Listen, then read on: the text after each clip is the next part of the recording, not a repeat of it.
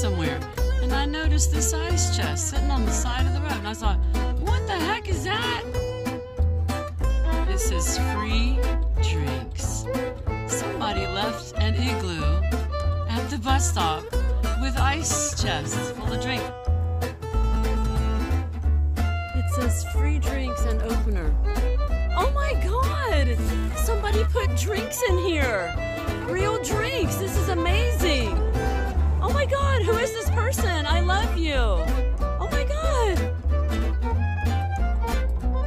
I just grabbed this LaCroix key lime out of that full box. I just, that just restored like some of my faith in people. I've been drinking this coffee for like several hours. It's cold and it's, you know, watery. And I've got this ice cold